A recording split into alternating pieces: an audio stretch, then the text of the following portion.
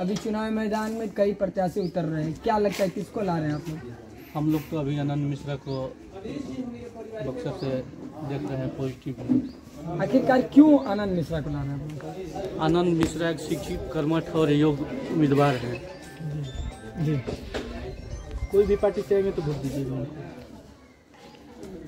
देखिए जहाँ तक कोई भी पार्टी का बात है